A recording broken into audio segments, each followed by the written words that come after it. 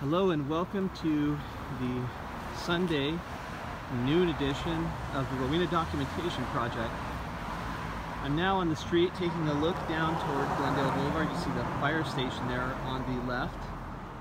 There are some pedestrians on the street and uh, a couple people trying to cross up there. It's a little bit difficult. And as you see, the traffic here is not bumper to bumper. It's not gridlocked. Lots of cars moving along the street.